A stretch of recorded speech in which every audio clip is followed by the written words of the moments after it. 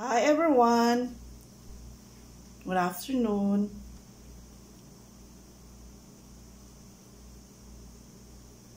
Gumagawa na naman ako ng puto para sa aming iftar.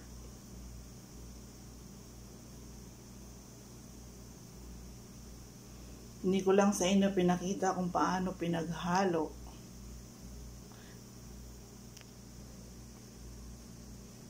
Isang kilong arena. Tapos,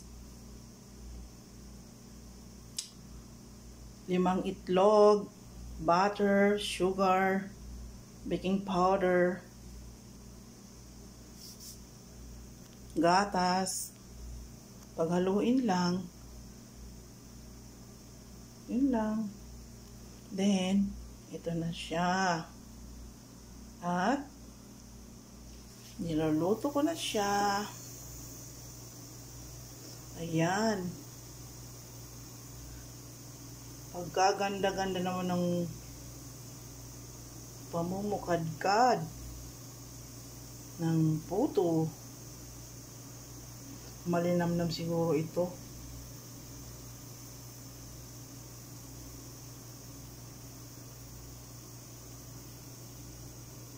Kaya mga mamshi, gawa din kayo.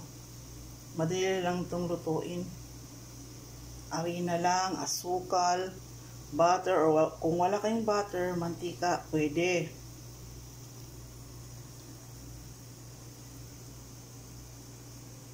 One kilo flour, two tablespoon baking powder,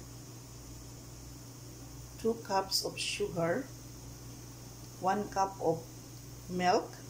Pwede ring powder milk.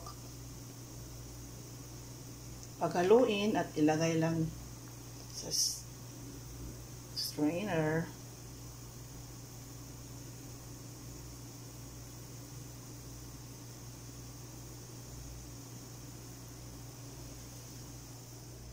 Ito may naluto na ako. Look.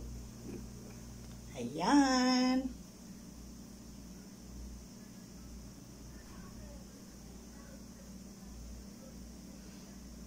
Goldilocks photo.